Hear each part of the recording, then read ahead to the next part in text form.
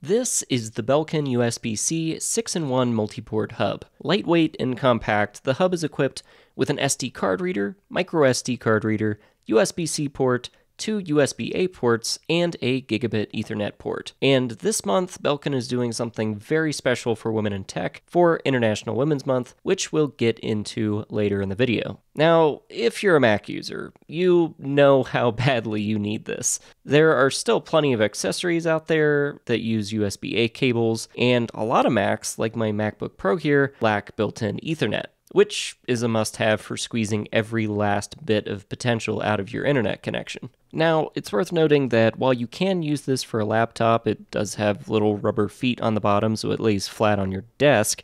It has limited functionality, and that's because of the angled USB C cable. No matter where you put it, it's gonna cover up a port in either direction. On my Mac, that's not a huge deal because it's covering up an SD card slot, which it's also replacing. In any case, it's actually designed to add functionality to something like an iMac, which, if you've ever used one, you know just how devilishly difficult it is to plug anything into it with all the ports on the back. Unfortunately, I don't have an iMac to demonstrate with, so I'll actually be using my MacBook Pro. Now, I wouldn't recommend actually mounting this to your screen like this, just because it adds a lot of pressure to your screen's hinge. Anyway, how it works is with a 3M strip on the back of the hub.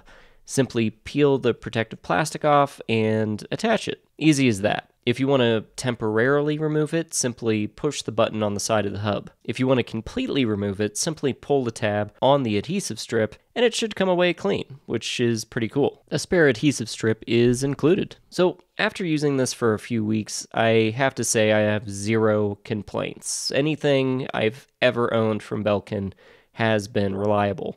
I've been plugging in my audio interface, which uses a USB A cable without the sketchy adapter. I can plug in micro SD cards, again without an adapter, and switching to an Ethernet connection rather than my wireless has surprisingly improved my upload and download speeds, especially for live streaming to, say, YouTube.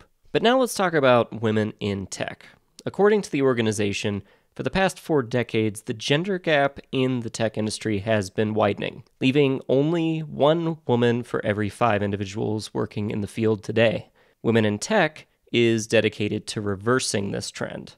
It's the world's foremost organization for inclusion, diversity, and equity in STEAM, which, if you're not familiar, stands for science, technology, engineering, and mathematics, with a mission to bridge the gender gap and empower women to embrace technology. They currently have a goal of impacting 5 million women and girls by 2030, and this month only, Belkin will donate a portion of every hub sale to women in tech.